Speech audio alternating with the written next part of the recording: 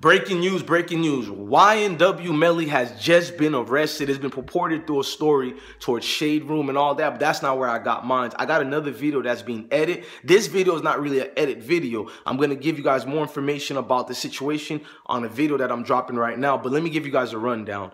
If you guys you know, last year, YNW Melly was in a situation, it was supposedly a alleged shootout, and he lost two of his best friends in that shootout. YNW Melly friends are the names of YNW Juvy and YNW Sack Chaser. I don't have time for the jokes if y'all trying to joke on their names. I don't care about somebody's names. That's neither here or there.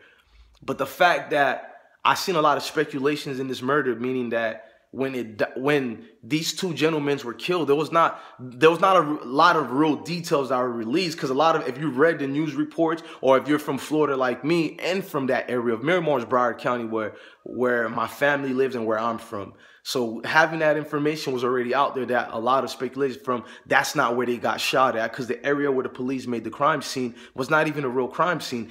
Allegedly, YNW Melly left with the bodies of his friends from the actual crime scene and rushed to the hospital, which anybody would do if you care for your loved ones. But the fact that people are now saying YNW Melly is guilty, I'm seeing certain YouTubers putting out the video already. I'm seeing certain situations are aspiring further than what it needs to be. They're going in grabs detail. He's a killer, he's a joke, he's a crackhead and all that. All I'm gonna tell you guys is pump the brakes for a little bit. I will play devil advocate and give you guys my opinion on YNW Melly. Check out for that other video, and I'm gonna say it on this one. But right now, I'm gonna speak as a free thinking, conscious black man when you have the media propaganda that's been going on for countless amount of years that destroys and using the tool to utilize to kill us and separate us from unity and causing divisions in our communities and sectors i'm going to pump the brakes especially when dealing with a um, overseers that you guys call police officers, which is just overseers from the slave days, or even we can even go further back from that from the Christopher Columbus times. So I don't trust police and I don't trust media propaganda. I trust the people. I'm gonna wait the more valid proof gets out before I just jump the guns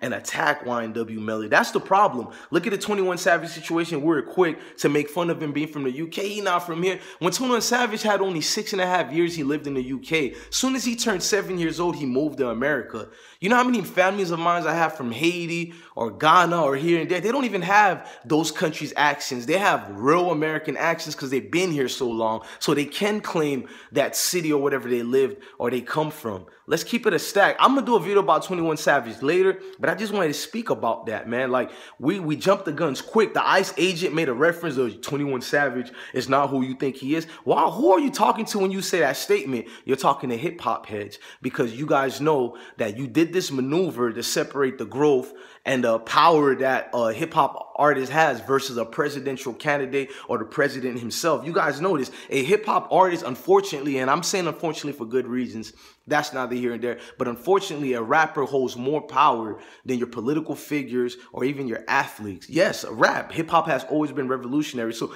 that being said, that hip hop is revolutionary, we should now take further more time to reflect on this situation that happened with YNW Melly. Is is something that's shocking? Yes, man. Now let me play devil's advocate.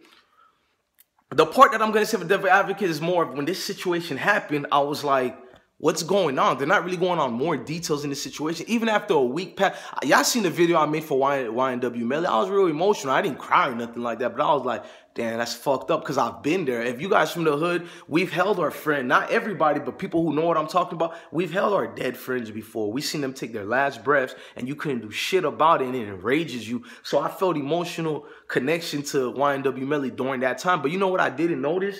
I didn't notice he did a lot of, I'm not saying he was supposed to cry, but he didn't really speak out like in their honor and their name a lot. I understand you can't speak about a criminal situation. You got to watch what you say and your lawyer um, and your legal team are going to give you advice, say nothing. But damn, bro, you can't even talk about how good they were. I'm pretty sure their family is exaggerating and thinking the same thing. Like, damn, this dude couldn't even just be like, you know, Juvy was a real nigga. Last time I checked, Sack Chaser and Juvy got in a fight protecting you with NBA homeboys, um, NBA young boy goons. Juvia Sackchaser got beat up and they didn't even hide it. He went on camera the next day and he filmed it. So they seem like down, down the ride as niggas, but at the same time, let's put a scenario. Let's say if YNW Melly did kill, you know, his friends allegedly. Um, Who's to say he didn't have a reason to do it? Who's to say his friends didn't set him up? Because we're seeing a lot of cases now with the 6 9 situation and so many other rappers over the years where they have their, even the Rich the Kid as, they have their own friends and family members who set them up just for the sole purposes of either taking the money that they believe they have or the jealousy and envy where I don't care about the money. I just want to see this nigga dead. He left me hanging. So I don't know what it is. And it's so many, you know, things we can contemplate and bring up. But at the end of the day, the main people who know the situation is YNW Melly and the people who are in that video and his accomplice, according to all these news outlets or whatever. So all I'm saying is take time before we go on a full throttle attack. We can look at a lot of scenarios like I just laid to you guys here, but this situation here needs to take a pump the brakes and understand what kind of group of people we're dealing with. I'm from Broward County. You know how much corruption and bullshit goes on with these um, white supremacist officers, these overseers. Do you know a lot of them are lazy? They don't get certain um, benefits or pay if they don't finish certain cases and it turns into a cold case.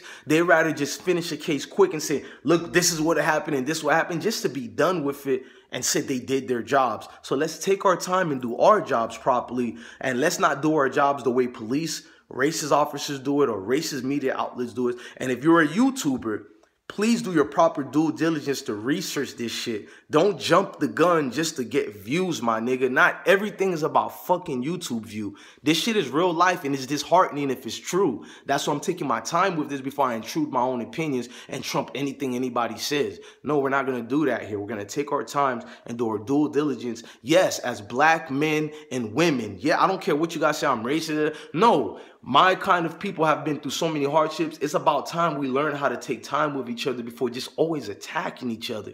That anytime you see anybody black, the only thing we're good at, I hate to say it, is attacking each other. And even if YNW Melly did kill his friends, it still proved my point. The only thing we're great at is attacking and killing each other. I'm your God bless one. Love your family, love your kids, and stay blessed. It's been real with y'all.